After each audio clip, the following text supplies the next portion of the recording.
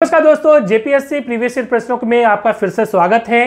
काफ़ी ज़्यादा महत्वपूर्ण होने वाली है सीडीपीओ एग्ज़ाम के लिए, साथ ही साथ जेपीएससी जो आने वाली है उसके लिए, क्योंकि हम लोग यहाँ पे प्रश्नों को तो करेंगे ही, साथ ही साथ इससे और क्या क्या नए प्रश्न बन सकते हैं, उसको भी करते हुए चलेंगे और देखेंगे जिस प्रकार से इलेवन जेपीएससी में एनालाइज फॉर यू से सिलेक्शन हुआ था, यहाँ से भी सिलेक्शन ज़रूर होगा।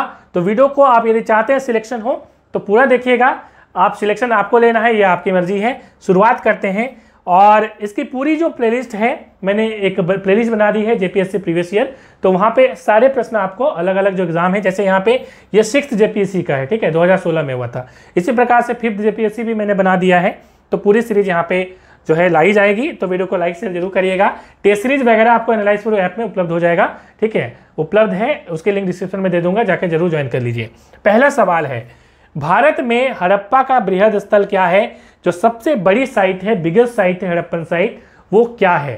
तो यहाँ पे सही आंसर होगा Rakhigarhi option A is the right answer अब इसके बारे में डिस्कस करते हैं। राखी गढ़ी कहाँ है? तो ये हरियाणा राज्य में है। हरिया, हरियाणा राज्य के ये कहाँ पे है? तो हरियाणा राज्य के ये हिसार ज़िले में स्थित है। ठीक है? तो हिसार जिला अपने आप में बहुत महत्वपूर्ण है, क्योंकि हिसार में आपको बहुत सारी कंपनीज़ मिलेंगे जिसमें शॉक अब्जॉर्बर है। ठीक है? मेटल कंपनी बहुत सारी ऑटो सेक्टर की कंपनी आपको वहाँ पे मिलेगी। दूसरा यहाँ पे मैं डिस्कस करूँगा धौलावीरा के बारे में, ठीक है? तो धौलावीरा या ढोलवीरा लिखा है तो इसको धौलावीरा इस प्रकार से पढ़ते हैं, धौलावीरा, ठीक है? तो धौलावीरा गुजरात में पड़ता है, ठीक है? और धौलावीरा में क्या है भाई? तो यहाँ पे जो मेटल एक्सट्रैक्शन होता है, उसके सबूत मिले हैं। मतलब यहाँ पे भट्टी मिली है, ठीक है? धातु की भट्टी मेटल की भट्टी या मेटल फर्नेस मिला है। जिस प्रकार से आपको मालूम है ना कि हम यदि लोहा को निकालना चाहते हैं, मिट्टी में मिनरल में, ओर में होता है, अब ओर को आप लोग क्या करते हैं? ब्लास्ट फर्नेस में डालते हैं और उससे लोहा निकलता है। ठीक है? उसी प्रकार की फर्नेस यहाँ पे मिली है। जैसे बॉक्साइड से एल्युमिनियम निकलता है, उसी प्रकार की यहाँ पे मिली है। तो इसलिए हम लोग यहाँ पे जान पाते हैं कि ये जो लोग हैं, धौलावीरा के लोग, वो काफ़ी ज़्यादा निपुण थे किसमें? मेटल एक्सट्रैक्शन में। तो एक तो ये हो गई। तीसरी बात लोथल। लोथल भी गुजरात में मिलेगा आपको और ये एक पोर्ट सिटी है। ठीक है?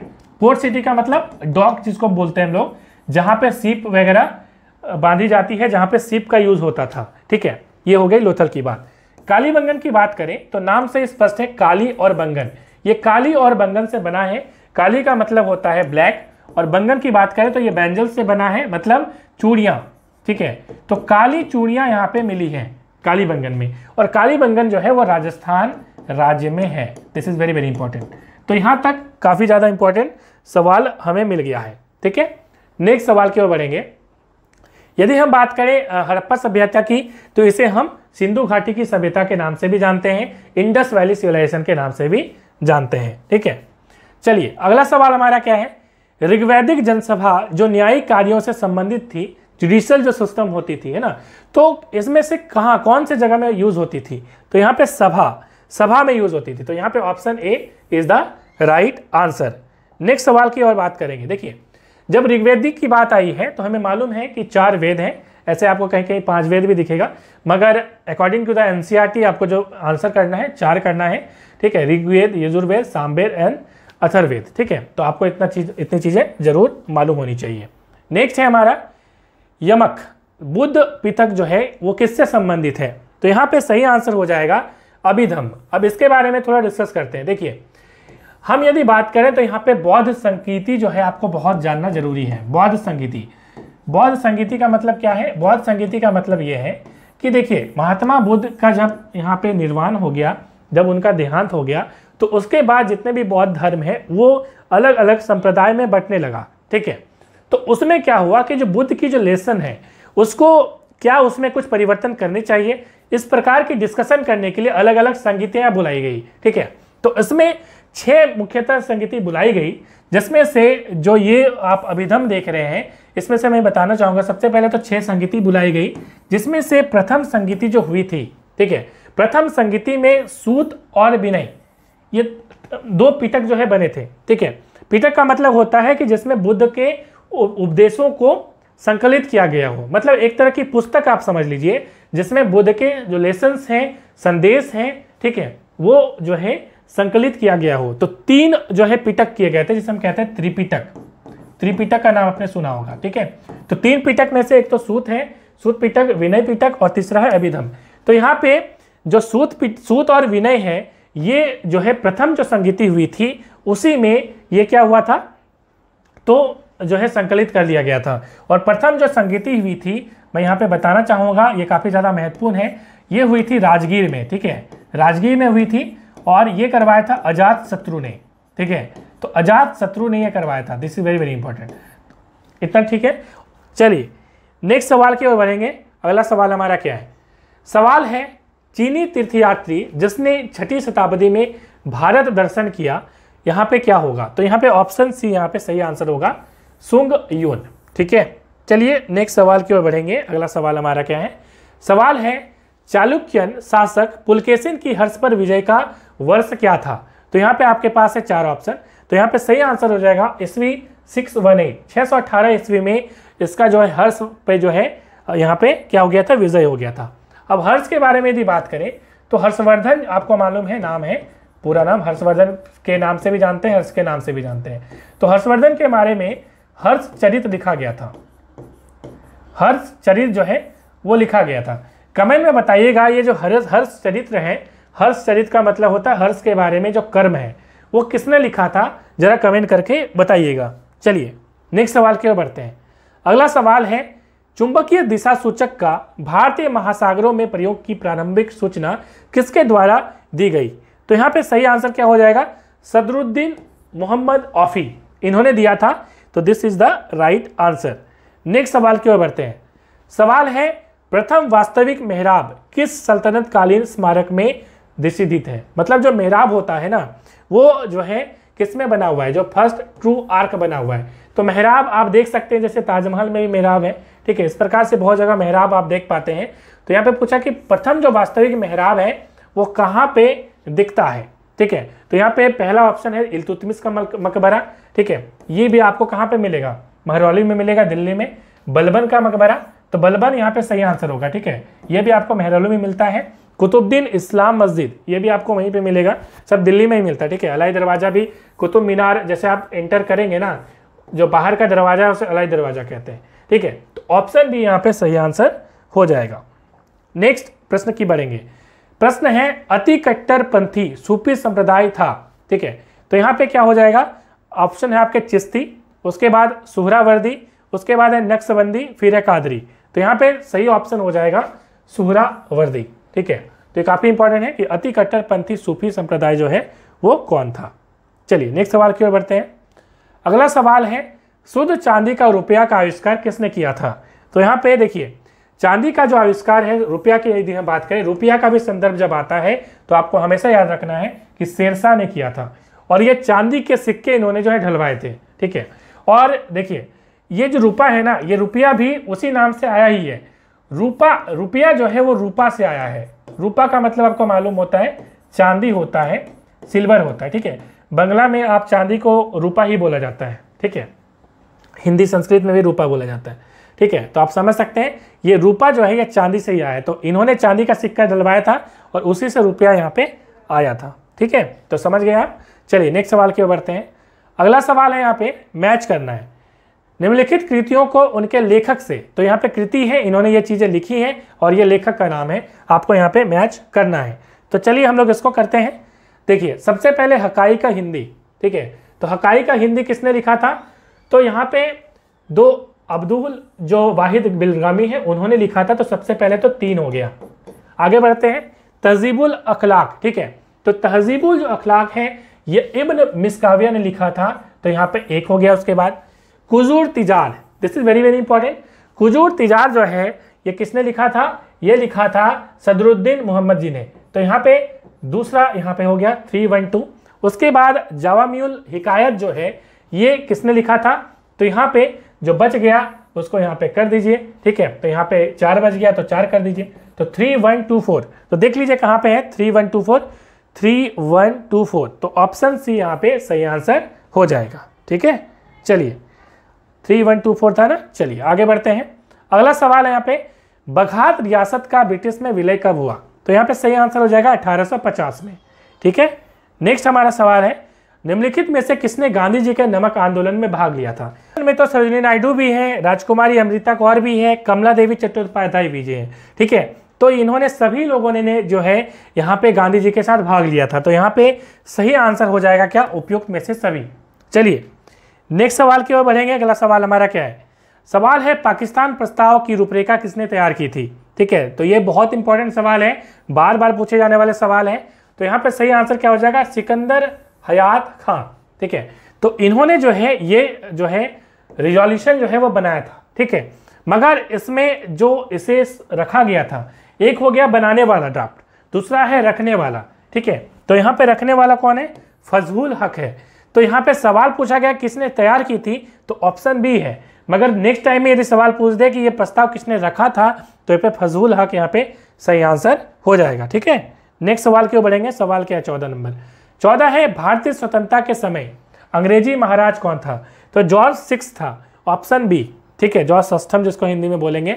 नेक्स्ट है, माउंट वेटन योजना ने निम्नलिखित में से किस प्रांत में लोक निर्णय जो है, संस्कृति जो है, वो दी थी?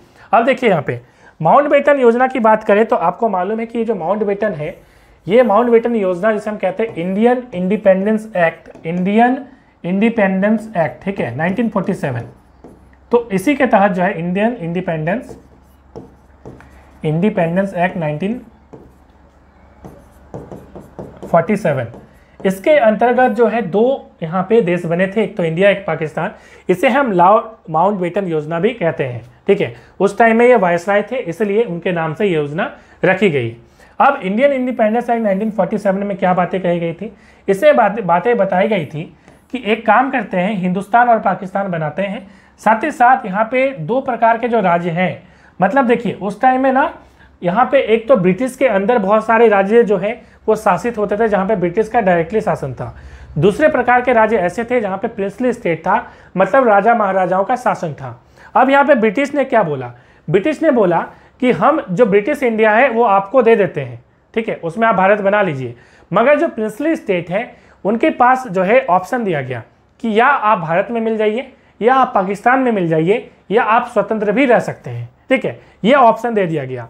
बाद में सरदार वल्लभ भाई पटेल ने काफ़ी इसमें अच्छा योगदान दिया और बहुत सारी जो रियासत हैं, जैसे हम बात करें हैदराबाद का निज़ाम है।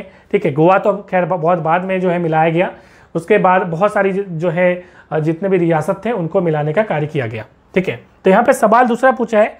सवाल पूछा गया है कि इसमें से निम्नलिखित में से किस प्रांत में लोक निर्णायक जो है संतुति की थी? लोक निर्णायक का मतलब होता है रेफरेंडम रेफरेंडम का मतलब क्या होता है? कि वहाँ पे पब्लिक डिसीज़न लेगी कि हम कहाँ पे जाएँगे। ठीक है? तो यह सिंध में भी किया गया था, बलूचिस्तान में भी किया गया था उत्तर पश्चिम सीमांत प्रांत में थे सही। तो यहाँ पे ऑप्शन डी यहाँ पे सही आंसर हो जाएगा। चलिए नेक्स्ट सवाल की ओर बढ़ते हैं। नेक्स्ट सवाल। निम्नलिखित जोड़ों में से कौन सा जोड़ा सही नहीं है? ठीक है। भारत का कुल क्षेत्रफल 3.28 मिलियन वर्ग किलोमीटर सही है। भारत का अक्षांश विस्तार कितना है? तो 8.8 डिग्री चार मिनट उत्तर से लेकर सैंतीस डिग्री छः मिनट उत्तर।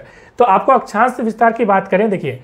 अक्षांश का मतलब क्या होता है? अक्षांश का मतलब होता है लैटिट्यूड तो आपको जैसा कि मालूम है कि ये अर्थ है हमारी। और यहाँ पे ज़ीरो डिग्री लैटिट्यूड ठीक है, जिसको हम लोग इक्वेटर बोलते हैं। उसके बाद यहाँ पे बहुत सारे इक्वेटर आप बना सकते हैं, साढ़े तेईस डिग्री। बेसिकली यहाँ से बनाते हैं हम लोग, ठीक है? तो टोटल यहाँ पे आप 90 डिग्री तक बना सकते हैं यहाँ पे, ठीक है?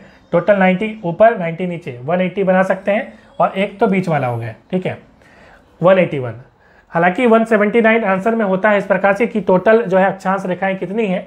तो टोटल अक्षांश रेखाएँ यदि आपसे पूछा जाए तो याद रखिएगा, यहाँ से हम लोग डिग्री बनाते हैं, ठीक है? यहाँ से लेकर आप एक डिग्री, दो डिग्री ऐसे बना सकते हैं और ये टोटल 90 डिग्री इधर बन जाएगा टोटल और 90 डिग्री नीचे भी बनेगा, ठीक है? 180 डिग्री और यहाँ पे एक हो गया 181 मतलब 181 रेखाएँ जो है यहाँ पे बनी, ठीक है? मगर यहाँ पे ये वाली जो है और ये वाली जो है नॉर्थ और साउथ ये दो पॉइंट हो गई, ठीक है? तो 181 में आप दो माइनस कर दीजिएगा तो कितनी हो गई? 179 तो इस प्रकार के बहुत सारे ऑप्शन उसमें मिल सकते हैं, ठीक है? वो प्रश्न पे डिपेंड करेगा कि आंसर क्या होगा। मगर यहाँ पे सवाल दूसरा पूछा है। यहाँ पे पूछा कि अक्षांश विस्तार कितना है? तो 8 डिग्री 4 मिनट उत्तर से लेकर सैंतीस डिग्री 6 मिनट उत्तर। ये भी सही है।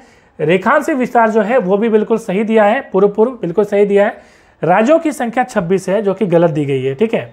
अभी के हिसाब से भी बात करें तो अभी गलत है। ये हो जाएगी 28 तो यहाँ पे ऑप्शन डी यहाँ पे सही आंसर हो जाएगा कि ये गलत दिया है। नेक्स्ट सवाल की ओर बढ़ते हैं। अगला सवाल हमारा क्या है? सवाल है, भारत का वह कौन सा स्थान है जहाँ बंगाल की खाड़ी अरब सागर और हिंद महासागर मिलती है तो ये हो जाएगा कन्याकुमारी, ठीक है? तो आप इसको मैप में भी बना सकते हैं। जैसे यहाँ पे देखिए, यहाँ पे जब आप इंडिया का मैप बनाएँगे, ठीक है? तो ये इस जगह में आप जब इसको बनाएँगे तो थोड़ा सा ऐसा होगा ऐसा होगा। तो इस जगह में जो है, कन्याकुमारी है, ठीक है? तो वही है कन्याकुमारी। और यहाँ पे श्रीलंका है तो आप इधर से अरब, अरेबियन सी देखते हैं, ठीक है? इधर से बंगाल की खाड़ी देखते हैं और यहाँ पे नीचे में इंडियन ओशन है। तो तीनों जो है मिल रहा है, ठीक है? तो उसको हम लोग कन्याकुमारी बोलते हैं। इसमें और भी सवाल पूछता है कि भारत और श्रीलंका को कौन सा स्टेट कौन सी जल संधि अलग करती है? स्ट्रेट का मतलब क्या होता है? स्ट्रेट का मतलब होता है जल संधि। जल संधि का मतलब क्या होता है?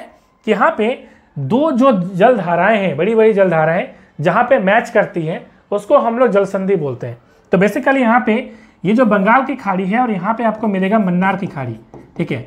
तो बंगाल की खाड़ी और मन्नार की खाड़ी यहाँ पे मैच करती है। इसलिए इसको हम लोग बोलते हैं, इसका नाम है पाक स्ट्रीट। पाक स्ट्रेट, ठीक है? तो सवाल पूछे कि भारत और श्रीलंका को कौन सी स्टेट अलग करती है, कौन सी जल संधि अलग करती है? तो पाक स्टेट सही आंसर होगा, ठीक है? तो नेक्स्ट टाइम में इसको भी आप दिमाग में रखिएगा। चलिए। आगे बात करते हैं। अगला सवाल, देखिए, इससे और एक सवाल मैं ले लेता हूँ, ताकि आपको चीज़ें याद रखें। देखिए, नॉर्थ अमेरिका और साउथ अमेरिका आप मैप में निकालिए, ठीक है? तो नॉर्थ अमेरिका और साउथ अमेरिका जब आप देखेंगे तो यहाँ पे नॉर्थ अमेरिका और साउथ अमेरिका, दो बड़े लैंड हैं, दो बड़े लैंड मास है।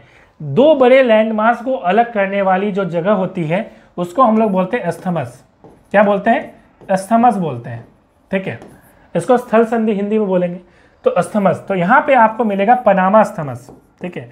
तो एक सवाल इससे भी पूछता है कि कौन सा स्थमस है जो नॉर्थ अमेरिका और साउथ अमेरिका को अलग करता है, ठीक है? तो यहाँ पे आप बोलोगे कि सर, यहाँ पे जो है इंडिया इंडिया और श्रीलंका भी तो दो अलग अलग स्थल है तो यहाँ पे हम लोग जल संधि क्यों बोल रहे हैं? स्टेट, हम लोग यहाँ पे जो है इसको क्यों बोल रहे हैं? स्थमस क्यों नहीं बोल रहे हैं? क्योंकि देखिए, ये एक तो बड़ा लैंड मास है, मगर ये तो एक छोटा लैंड मास है। तो दो बड़े लैंडमार्क यहाँ पे नहीं अलग हो रहे हैं। मगर नॉर्थ अमेरिका साउथ अमेरिका की हम बात करें तो दो बड़े बड़े लैंडमार्क अलग हो रहे हैं। इसलिए इसको स्थमस बोलते हैं, ठीक है? पनामा नहर या पनामा स्थमस बोलते हैं इसको, ठीक है? तो इतनी चीज़ें आपको क्लियर हो गई। नेक्स्ट सवाल की ओर बढ़ेंगे। सवाल है, क्षेत्रफल की दृष्टि से भारत का विश्व के देशों में कौन सा स्थान है? तो सही आंसर हो जाएगा सातवां स्थान। अभी तक वीडियो को लाइक नहीं किया तो प्लीज़ लाइक कर दीजिएगा। देखिए यहाँ पे सबसे पहला जो है, आपको मालूम है, रसिया है। सबसे नंबर वन में रसिया है। उसके बाद कनाडा है, ठीक है। फिर आता है चाइना का स्थान। फिर आता है यहाँ पे यूएस का स्थान, ठीक है। यूनाइटेड स्टेट का स्थान आता है। उसके बाद आपका यहाँ पे आता है ब्राज़ील का स्थान, ठीक है। ब्राज़ील के बाद आता है ऑस्ट्रेलिया। और ऑस्ट्रेलिया के बाद जो है, हमारा प्यारा भारत आता है, ठीक है। तो सातवां स्थान में देख लीजिए। One two three four five six seven तो सातवां स्थान यहाँ पे, सही आंसर हो जाएगा, ठीक है? नेक्स्ट हमारा सवाल क्या है? सवाल है, देख लीजिए, निम्नलिखित उच्चावच आकृतियों पर ध्यान देना है। महादेव, पर्वत श्रृंखला, मैकाल, पर्वत श्रृंखला, छोटा नागपुर पठार, खांसी की पहाड़ी। तो आप इसको जब आप मैप में बनाएँगे ना, जब आप इसको मैप में बनाएँगे तो आपको पता चलेगा कि कहाँ पे है, ठीक है? मैं यहाँ पे जस्ट ऐसे ही रफ मैप बना दे रहा हूँ। अब देखिए, महादेव, पहाड़ी जो है, महादेव जो है आपको मिलेगा मध्य प्रदेश में। मैकाल जो है मध्य प्रदेश और छत्तीसगढ़ में मिलेगा, ठीक है? उसके बाद छोटा नागपुर तो आपको झारखंड में मिलेगा यहाँ पे, और खांसी जो है वो मेघालय में मिलेगा आपको, ठीक है? तो इस प्रकार से आप जब इसको बांटेंगे तो पूछा है किसमें? तो उच्चावच आकृति जो है पश्चिम से पूर्व की ओर करना है। मतलब ये पश्चिम है, पूर्व में जाना है। तो आपका बिल्कुल क्रम सही दिया हुआ है। One two three four answer कहाँ पे है? ऑप्शन ए यहाँ पे सही आंसर होगा, ठीक है? तो ये चीज़ें आपको दिमाग में रखनी होंगी। नेक्स्ट सवाल हमारा क्या है? सवाल है, निम्नलिखित में से कौन सा जोड़ा सही है? इंद्रावती। तो इंद्रावती जो है वो उड़ीसा में है, ठीक है? मगर यहाँ झारखंड दिया, गलत? यहाँ पे उड़ीसा होना चाहिए, ठीक है? उसके बाद भीमा जो है, वो आंध्र प्रदेश में पड़ता है, ठीक है? तो यहाँ पे आंध्र प्रदेश मगर दिया है, तमिलनाडु, ये भी गलत। लूनी नदी राजस्थान में, बिल्कुल सही दिया है दिस इज़ राइट तो ऑप्शन के हिसाब से सही जोड़ा आपका हो गया ऑप्शन सी ठीक है? घट प्रभा कहाँ पे है? तो ये मिलेगा आपको कर्नाटक में। कर्नाटक। ठीक है? तो इतनी चीज़ें याद रखिए नेक्स्ट सवाल की ओर बढ़ते हैं। अगला सवाल हमारा क्या है? सवाल है, क्या सवाल है भाई? झारखंड में वार्षिक वर्षा जो है एनुअल जो रेनफॉल होता है, वो कितनी होती है? तो यहाँ पे ऑप्शन भी यहाँ पे सही आंसर हो जाएगा। नेक्स्ट हमारा क्या है? नेक्स्ट हमारा है, कहाँ गया नेक्स्ट। क्वेश्चन नंबर बाईस। बाईस है, निम्नलिखित में से कौन सा जोड़ा सही नहीं है? ठीक है? तो यहाँ पे बोला कुल्हान। तो कुल्हान जो है, आपका सिम्बू वाला एरिया तो कुल्हान में खजीद संसाधन बिल्कुल सही है। कौन सा सही नहीं है बोला है? कच्छ जो है, कच्छ में वन मिलेगा नहीं कच्छ गुजरात में है जो कि एक मरुस्थल है, ठीक है? मतलब कि यहाँ पे डेजर्ट आपको मिलेगा। तो ये गलत दिया है। मतलब जोड़ा से ये आंसर सही हो गया ये वाला। मालावर तट जो है, जल तो मिलता ही है मालावर में, और मध्य गंगा मैदान में तो मेरा मिलेगा ही तो बिल्कुल सही है ये। तो ऑप्शन भी यहाँ पे सही आंसर हो जाएगा। नेक्स्ट सवाल की ओर बढ़ेंगे। अब देखिए, यहाँ पे पूछा है कि which of the following pair is correctly matched अब यहाँ पे लद्दाख के बारे में बोला है। ठीक है लद्दाख में क्या है? सूती वस्त्र उद्योग। ठीक है दंडकारण में क्या है? जूट की खेती। इसमें बोला है कि कौन सा सही है? तो उत्तरी बिहार देखिए लद्दाख में सूती वस्त्र कहाँ से मिलेगा भाई? ठीक है इतने प्रोटेस्ट हो रहे हैं वहाँ पे कुछ मिलता है, है नहीं है है ना? वहाँ पे आपको एक ही चीज़ मिलेगा स्तूपा जो है ठीक है? जो स्तूपा होता है मतलब किसी उसको हम बोलते हैं मतलब कि आइस स्तूपा ठीक है? आइस स्तूपा। ये काफ़ी फ़ेमस है लद्दाख में, आइस स्तूपा। आइस स्तूपा किसने बनाया था आपको मालूम है? अभी जो यहाँ पे प्रोटेस्ट हो रहा था ना, वो जो साइंटिस्ट प्रोटेस्ट करते बहुत बड़े साइंटिस्ट हैं वो, ठीक है? तो वो साइंटिस्ट ने ही आइस स्तूपा बनाया है। उस साइंटिस्ट का नाम बताइएगा कि कौन से साइंटिस्ट ने यहाँ पे लद्दाख में प्रोटेस्ट किया था, ठीक है? चलिए कमेंट करके बताइएगा। नेक्स्ट पढ़ते हैं हम लोग। तो यहाँ पे ऑप्शन सी सही आंसर होगा, ठीक है? नेक्स्ट हमारा सवाल क्या है? अब देखिए, यहाँ पे पूछा कि भारत में निम्न राज्यों में उच्च से निम्न जनसंख्या घनत्व का। तो जो पॉपुलेशन डेंसिटी है, यहाँ पे क्या बोला है? उच्च से निम्न मतलब हाई से लो ठीक है, आपको बताना है। तो सबसे पहले हाई कहाँ पे है? तो बिहार तो भाई टॉप में है है ना? उसके बाद बंगाल में पर, बंगाल पड़ता है, मगर बंगाल ऑप्शन में दिया नहीं है। तो बिहार है, उसके बाद पंजाब है, फिर झारखंड है, फिर उत्तराखंड। तो ऑप्शन सी यहाँ पे सही आंसर हो जाएगा। नेक्स्ट पढ़ते हैं नेक्स्ट सवाल हमारा क्या है? सवाल है, फिर वही सुमिलित करने बोला है। थारू। थारू कहाँ पे भाई? थारू तो भाई उत्तर प्रदेश है। तो ए का हो गया चार तो चार नंबर लिखते हैं। फिर है भील। भील कहाँ पे मिलेगा आपको? भील कहाँ मिलता है? तो भील मिलती है राजस्थान में, ठीक है? उसके बाद गद्दी मिलता है हिमाचल प्रदेश में, चार एक तो मुंडा कहाँ मिलता है? झारखंड में। तो चार एक दो तीन कहीं है क्या? चार एक दो तीन, चार एक दो तीन नहीं है कहीं। चार एक दो तीन। ऑप्शन डी यहाँ पे सही आंसर हो जाएगा, ठीक है? थारू हो जाएगा उत्तर प्रदेश। भील हो गया आपका राजस्थान। गद्दी हो गई आपकी हिमाचल प्रदेश, ठीक है? और मुंडा हो गई आपके झारखंड। चार, एक, दो, तीन। Option D is the right answer.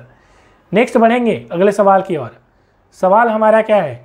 सवाल है हमारा अनुसूचित जाति, जनजाति एस सी है ना? संयुक्त राष्ट्र आयोग के किस संशोधन के अंतर्गत दो अलग निकायों में बांटा गया है? तो यहाँ पे सही आंसर हो जाएगा एटी जो यहाँ पे अमेंडमेंट अब देखिए, यहाँ पे सवाल बहुत इंपॉर्टेंट पूछा है। बयालीसवां चौलीसवां और तिरानवे। बहुत इंपॉर्टेंट है।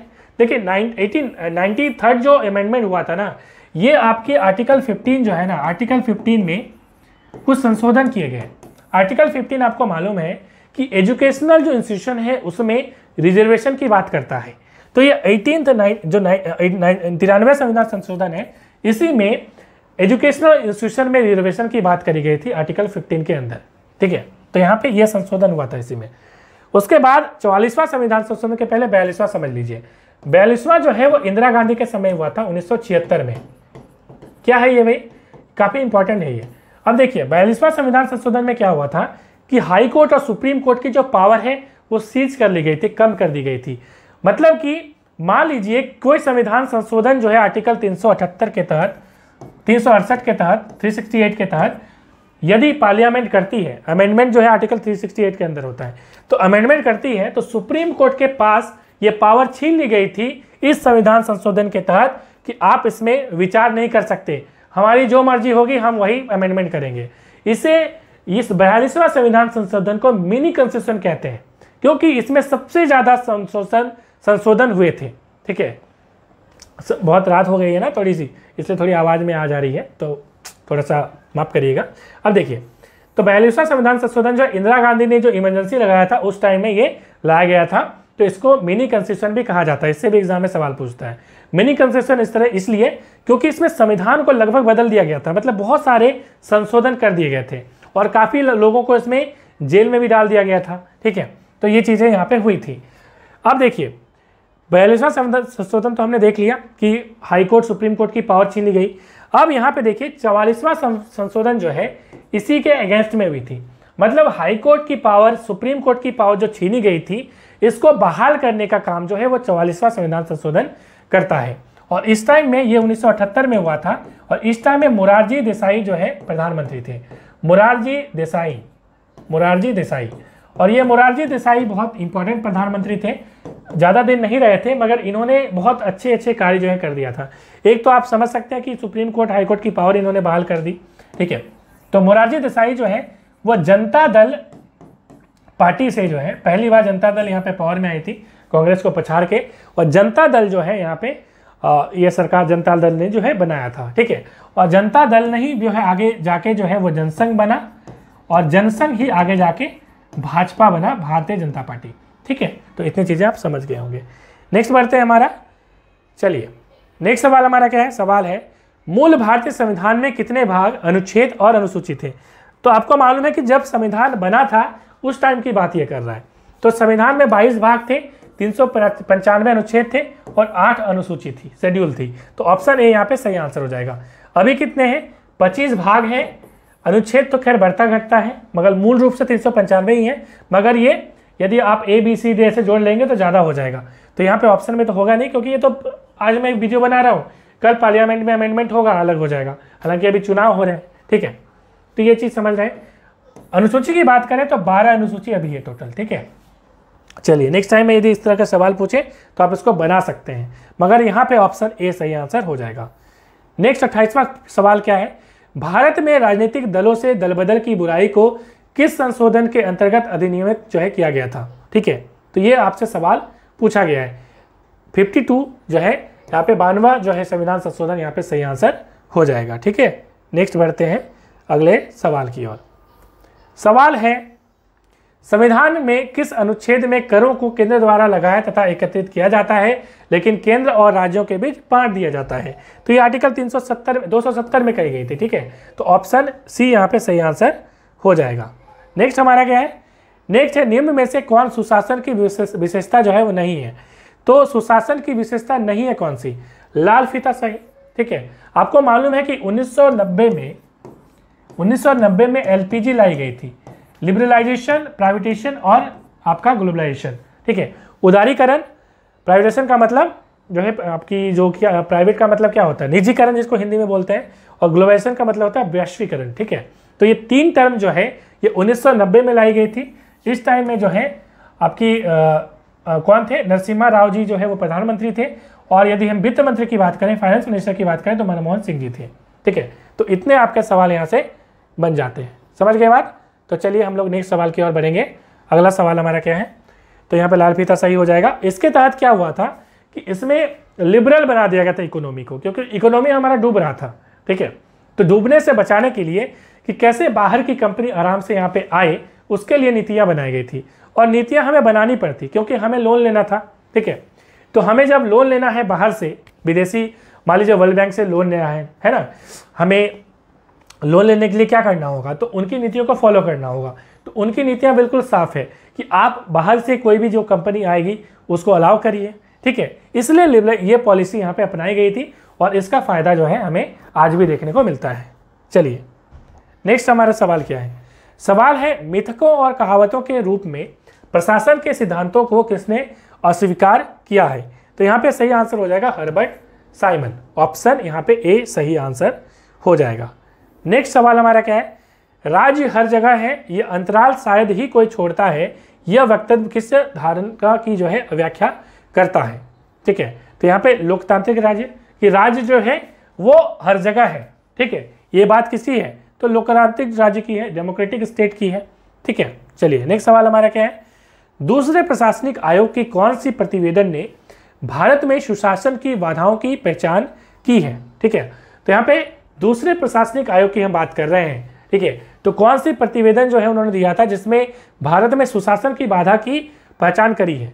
शासन में नैतिकता, नागरिक केंद्रित शासन तो ऑप्शन भी यहाँ पे सही आंसर हो जाएगा। इसी में यह बताई गई थी कि नागरिक केंद्रित प्रशासन है, जो कि शासन का एक केंद्र बिंदु है। ठीक है। नेक्स्ट हमारा सवाल क्या है? सवाल है, भारतीय संविधान के कौन से अनुच्छेद में जिला योजना समिति का गठन होता है? ठीक है। तो देखिए, ये जो सवाल पूछा गया है, ये म्यूनसिपलिटीज से पूछा गया है।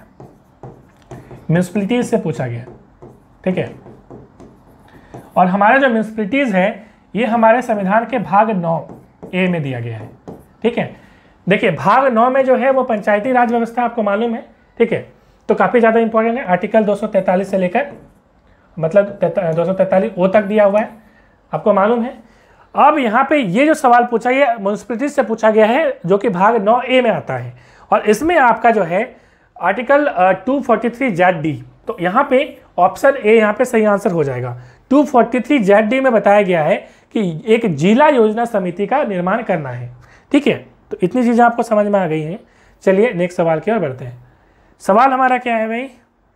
सवाल है जोड़ी बनाना है, ठीक है?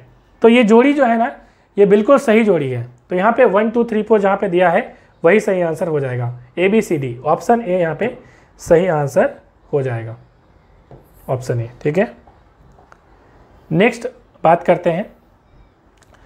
चौदवा वित्त आयोग जो है फाइनेंस कमीशन है। सिफारिशों के आधार पर संघीय करों के कुल आय का हिस्सा केंद्र से राज्य के मध्य वृद्धि के लिए निश्चित किया गया है। तो ये 70 42 परसेंट सही आंसर हो जाएगा। नेक्स्ट हमारा क्या है? नेशनल ग्रीन ट्रिब्यूनल भारत सरकार द्वारा स्थापित किया है। ये कब किया गया है? तो 2010 में, जहाँ तक मुझे याद आ रहा है 2010 में इसे स्थापित किया गया है। नेक्स्ट हमारा, भारत के परिप्रेक्ष्य में, निम्नलिखित में से कौन सा स्थान कथन जो है, जलवायु परिवर्तन के दुष्प्रभाव के संदर्भ में सत्य नहीं है। ठीक है? तो यहाँ पे देख लीजिए clean development mechanism national adaptation fund के अंतर्गत 100 करोड़ रुपए का प्रारंभिक कोष के रूप में निवेश, हाल ही में दक्षिण अफ्रीका के सन सिटी में आयोजित बेसिक की यूनिवर्सिटी तो ये कोई मतलब नहीं बनता है ऑप्शन सी है ना? तो ऑप्शन सी यहाँ पे सही आंसर हो जाएगा। नेक्स्ट हमारा क्या है? नेक्स्ट हमारा है सूची मिलाना है है ना? तो इनक्वालिटी देखिए, ये बहुत फ़ेमस बुक है। सभी लोग जानते होंगे, इन, ठीक है। तो ये काफ़ी ज़्यादा इंपॉर्टेंट बुक है, किसने लिखी है? तो अमर सेन जी ने लिखी है, ठीक है। तो पहला वाला तो तीन हो गया। उसके बाद द प्राइस ऑफ़ इनक्वलिटी किसने लिखा है? तो जोसेफ जी ने लिखा है, आपको मालूम होगा। तो ऑप्शन ए तो तीन एक देख लीजिए पहले, उसके बाद यदि नहीं मिले तो आगे बढ़ेंगे। तो तीन एक देख लीजिए, तीन एक चार दो। तो ऑप्शन डी यहाँ पे सही आंसर हो जाएगा। थ्री वन फोर टू तो इस प्रकार से जब ऑप्शन वाला सवाल हो तो पहले दो मिला लीजिए। यदि आपको कंफर्म पता है तो। और टिक कर दीजिए आराम से। नेक्स्ट सवाल हमारा क्या है? सवाल पूछा है कि यहाँ पे कमेटी का नाम दिया गया है और उससे संबंधित सेक्टर का नाम दिया गया तो ये बहुत महत्वपूर्ण सवाल है। ठीक है, इसको करते हैं। चलिए। देखिए, सबसे पहले बात करेंगे चक्रवर्ती समिति के बारे में। तो ये वित्त क्षेत्र सुधार के बारे में बात करते थे तो फोर नंबर होगा। नरसिंगन जो समिति थी, ये बैंकिंग क्षेत्र सुधार की बात करते थे तो तीन होगा। तेंदुलकर समिति जो है, वो निर्धन के बारे में बात करते थे तो दो होगा। और चलिया समिति जो है, वो कर के बारे में बात करते थे तो कर होगा। तो चार तीन दो एक, कहीं पे है तो देख लीजिए, और नहीं है तो गलत है। देख लीजिए कहीं पे है, चार तीन दो एक, चार तीन दो एक, चार तीन दो एक। चार तीन दो एक कहीं नहीं है। ठीक है? ये वाला ऑप्शन जो है, जेपीएससी ने गलत दिया था, इसलिए मैंने बोला ना, गलत है। तो ये गलत यहाँ पे दिया है। चार तीन दो एक है ही नहीं। तो ये एक भी ऑप्शन सही नहीं है। चार तीन दो एक यहाँ पे सही आंसर होगा। नेक्स्ट हमारा करते हैं। 2004-5 के इकसठवें एनएसएसओ डेटा में निर्धनता आकलन करने के लिए विधि अपनाई गई है। ठीक है तो यहाँ पे क्या हो जाएगा? तो यहाँ पे सही आंसर हो जाएगा दोनों। एक तो यूआरएम भी अपनाया गया है और एमआरएम भी अपनाया गया है। ठीक है तो यूनिफॉर्म रिकॉल मेथड और मिक्स्ड रिकॉल मेथड दोनों को अपनाया गया है। तो ऑप्शन सी यहाँ पे सही आंसर होगा। नेक्स्ट हमारा क्या है? राष्ट्रीय खुद सॉरी राष्ट्रीय खाद्य सुरक्षा कानून के संदर्भ में कौन सा कथन सत्य नहीं है? तो यहाँ पे 67 परसेंट जनता को कानूनी रूप से सब्सिडी वाले खाद्य प्रदान करती है। यह पचहत्तर प्रतिशत ग्रामीण जनसंख्या पचास प्रतिशत शहरी जनसंख्या को आच्छादित करती है। इसमें केवल दो अनुच्छेद है। तो ये गलत बात है और ये जो है गलत बात है। ऑप्शन सी तो यहाँ पे पूछा था कि कौन सा सही नहीं है तो ऑप्शन सी यहाँ पे सही आंसर हो जाएगा। नेक्स्ट है राष्ट्र निर्माण नीति भारत सरकार द्वारा आरंभ की गई थी। तो विनिर्माण जो नीति है, ये 2011 में आरंभ की गई थी। तो ऑप्शन बी यहाँ पे सही आंसर हो जाएगा। नेक्स्ट सवाल। सवाल है स्पेशल इकोनॉमिक जोन एस इसको बोलते हैं। बेसिकली एस बनाया क्यों गया है? बेसिकली जब आप इंडिया का मैप देखेंगे ना तो बेसिकली होता क्या है कि कुछ क्षेत्र को विकसित करने के लिए, ठीक है? हम लोग स्पेशल इकोनॉमिक जोन बनाते हैं। बेसिकली आप बॉर्डर एरिया में खासकर ये जो पोर्ट एरिया है, यहाँ पे आपको इकोनॉमिक जोन मिलेगा। इधर आप दिल्ली में, नोएडा साइड में मिलेगा आपको, ठीक है? इधर आपका विशाखापट्टनम से लेकर आपका पूरा जो एरिया है, गुजरात वाला एरिया आपको यहाँ पे क्या मिलेगा? स्पेशल इकोनॉमिक जोन मिलेगा। स्पेशल इकोनॉमिक जोन एक ऐसा जोन होता है जहाँ पे जो इकोनॉमिक एक्टिविटी होती है, उसमें टैक्स में बहुत सारे बदलाव किए जाते हैं। टैक्स कम लगाया जाता है, ठीक है? इस प्रकार की नीतियों में परिवर्तन करके वहाँ पे ज़्यादा से ज़्यादा प्रोत्साहन दिया जाता है कि ज़्यादा से ज़्यादा यहाँ पे क्या हो? आर्थिक गतिविधि हो, जहाँ से ज़्यादा बिज़नेस हो। ठीक है? इससे क्या फ़ायदा होगा? एक तो बॉर्डर एरियाज़ में इसको किया जाता है कई बार, क्योंकि बॉर्डर एरिया में एक तरह से क्या होगा कि आप इस तरह से करेंगे तो चीज़ें आराम से क्या होगी? बिज़नेस भी आराम से चलेगा, वहाँ के लोग भी क्या होंगे? अच्छे से डेवलप हो पाएँगे। ठीक है? तो कई सारी इसलिए नीतियों को इसमें जो है संकलित करा जाता है। तो यहाँ पे सवाल क्या पूछा था? सवाल पूछा गया था कि स्पेशल इकोनॉमिक जोन की नीति देश में पहली बार आरंभ की गई थी। तो 2000 में आरंभ की गई थी। ऑप्शन भी यहाँ पे सही आंसर हो जाएगा। नेक्स्ट है, बारहवीं पंचवर्षीय योजना के संदर्भ में कौन सा बिंदु नहीं है? ठीक है? तो देखिए, यहाँ पे बिंदु नहीं है, गलत दिया था क्वेश्चन ये बिंदु है होगा, क्योंकि इसमें चारों ही ऑप्शन सही, तीनों ऑप्शन सही है। आठ प्रतिशत वास्तविक जीडीपी हुआ था, हालाँकि इसका जो है अनुमान था 8.2 परसेंट मगर 8 परसेंट वास्तविक हुआ था। चार परसेंट कृषि विकास दर यह भी सही है। प्रति व्यक्ति उपभोक्ता जो जनता है वो दस प्रतिशत तक कम करने की बात हुई थी। तो तीनों ऑप्शन सही है। तो यहाँ पे प्रश्न में नहीं गलत डाल दिया था है होगा यहाँ पे। तो उसके हिसाब से चार नंबर ऑप्शन सही होगा ठीक है? यदि है, है तो। अब राइबोजाइम के बारे में बोला राइबोजोम क्या है? तो आपको मालूम है कि राइबो न्यूक्लिक एसिड का बना होता है आर ठीक है? ये आर का बना होता है राइबो न्यूक्लिक एसिड और इसका काम होता है प्रोटीन सिंथेसिस करना प्रोटीन को बनाना राइबोजोम ठीक है? तो ये काफ़ी ज़्यादा महत्वपूर्ण होती है। राइबोजोम आपको क्या मिलेगा ना? ये आपको कहाँ मिलता है? तो आपका जो गोल्जी अपरेटस होता है गोल्जी अपरेटस गोल्जी अपरेटस आपने बायोलॉजी में शायद पढ़ा होगा। इसमें गोल्जी अपरेटस जो है, वो फ्लैट इस टाइप का इसका स्ट्रक्चर होता है बेसिकली इस टाइप का स्ट्रक्चर होता है। और इसके पीछे इस तरह से होगा, इस प्रकार मतलब फ्लैट टाइप का होता है और मतलब बकेट टाइप का होता है, ठीक है? इसके ऊपर दो टाइप के जो है जो गोल्जी ऑपरेटर्स जब आप पढ़ेंगे तो इसको आप ध्यान से देखेंगे, ठीक है? तो यहाँ पे देखिए, राइबोसोम कहाँ पे मिलेगा मैं आपको बताना चाहूँगा। तो गोल्जी ऑपरेटर्स के पहले आपको एक चीज़ देखना पड़ेगा यहाँ पे, और वो देखना पड़ेगा क्या? तो वो देखना पड़ेगा आपका काफ़ी ज़्यादा महत्वपूर्ण है, जिसे हम कहते हैं एस e और आर e ठीक है? तो यहाँ पे सॉफ्ट इंडोप्लाज्मिक रेटिकुलम और रफ इंडोप्लाज्मिक रेटिकुलम तो ये जो रफ इंडोप्लाज्मिक रेटिकुलम है, ठीक है, इसी के ऊपर इम्बेडेड होता है राइबोसोम, इस प्रकार से। इसलिए इसको हम लोग बोलते हैं रफ इंडोप्लाज्मिक रेटिकुलम तो ये बायोलॉजी का चैप्टर है, ठीक है? बायोलॉजी का भी पढ़िएगा तो उसको आप पढ़ सकते हैं। तो यहाँ पे ऑप्शन बी यहाँ पे सही आंसर हो जाएगा, ठीक है? नेक्स्ट है डीएनए का फुल फॉर्म आपको मालूम है डिऑक्सी न्यूक्लिक एसिड नेक्स्ट है, मृत मछली, डेढ़ जो मछली होती है उसमें दुर्गंध जो है कौन से कंपाउंड से होती है? तो अमीनो यौगिक से होगी ऑप्शन ए यहाँ पे सही आंसर हो जाएगा। नेक्स्ट सवाल हमारा क्या है? नेक्स्ट सवाल है नन स्टिक फ्राइंग कढ़ाई, ठीक है? तो ये टेफ्लॉन का बना होता है, आपको मालूम है कि आजकल जो फ्राइंग पेन आता है ना ब्लैक कलर का, ठीक है फ्राइंग पेन तो ये जो ब्लैक कलर का फ्राइंग पेन होता है, इसके ऊपर एक कोटिंग होती है, जो टेफलॉन की होती है, जो अच्छी होती नहीं है, ठीक है? इससे बहुत तरह की बीमारियाँ हो सकती है कैंसर वगैरह भी हो सकता है, ठीक है? तो क्योंकि प्लास्टिक है वो, एक तरह का, ठीक है टेफ्लॉन सही आंसर होगा ऑप्शन बी नेक्स्ट है, इससे इसमें होता क्या है कि तेल चिपकता नहीं है, ठीक है? क्योंकि प्लास्टिक की बनी हुई है तो एक तरह का पॉलिश हो गया है वो। नेक्स्ट सवाल है पॉइजनस मस्टर्ड गैस क्या होता है? तो पॉइजनस मस्टर्ड गैस जो है वो लिक्विड होता है, ठीक है? ऑप्शन भी यहाँ पे सही आंसर हो जाएगा। नेक्स्ट पचासवा और अंतिम प्रश्न, और नेक्स्ट हम लोग अगले वीडियो में पचास प्रश्न और कर लेंगे। सवाल है डायनामाइट के निर्माण में प्रयुक्त होने वाला रासायनिक केमिकल क्या है? तो डायनामाइट में क्या यूज़ होता है भाई? तो ग्लाइस्ट्रॉल नहीं होता है glycerol triacetate trinitrate तो ऑप्शन सी यहाँ पे सही है ग्लाइस्ट्रॉल ट्राई नाइट्रेट यूज़ होता है, ठीक है? तो ऑप्शन सी यहाँ पे सही आंसर हो जाएगा। तो मिलते हैं नेक्स्ट वीडियो में। Thanks for watching